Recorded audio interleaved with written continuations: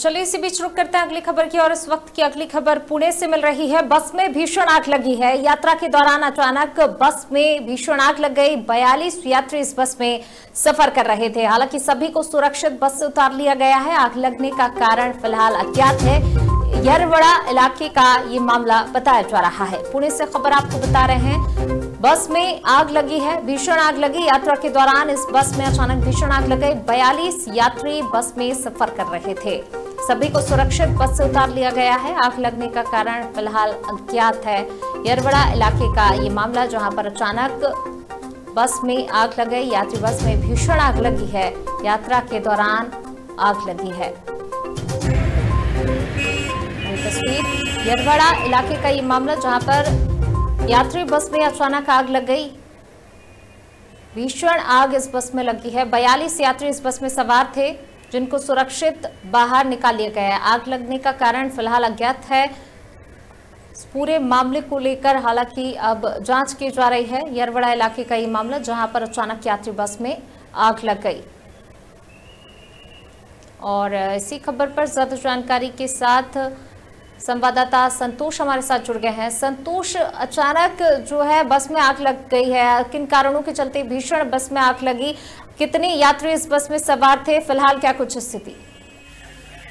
पूनम पूनम जैन जी, जिस प्रकार से ये जो बस पुना के एरोडा और शास्त्री नगर से जा रही थी और अचानक उसमें आग लगने की वजह से एक प्रकार से भगदग मच गई थी।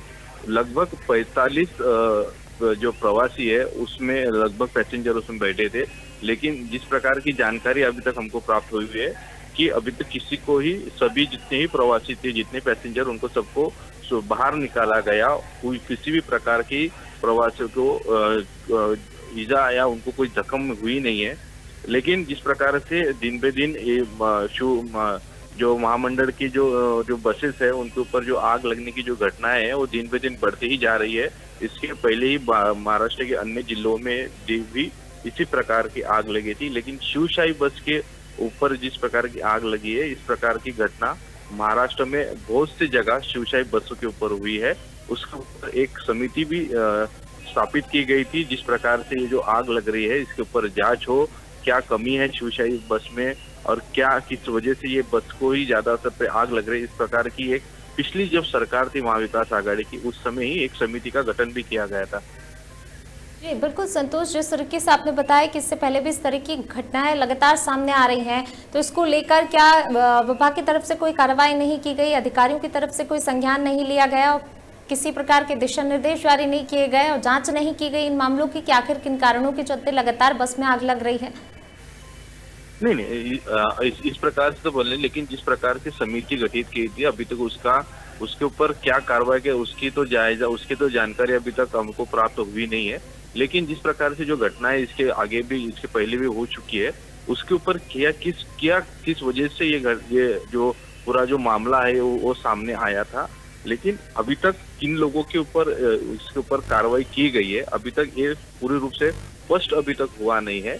लेकिन आने वाले दिनों में जिस प्रकार की ये जो घटनाएँ बढ़ती जा रही है इसके ऊपर अब महामंडल किस प्रकार से एक्शन लेता है ये आने वाले दिनों में अपने को पता लगने की लग, लग सकता है। जी, शुक्रिया संतोष इस तमाम जानकारी को साझा करने के लिए। तो अचानक इस यात्री बस में आग लग गई है। हालाँकि जिस प्रकार से संवाददाता ने बताया, पहले भी इस तरह की घटनाएँ सामने आ चुकी हैं, लेकिन अब देखने वाली बात होगी कि इस घटना के सामने आने के बाद आखिर अधिकारियों की तरफ़ से क्या कुछ कार्रवाई की जाती है।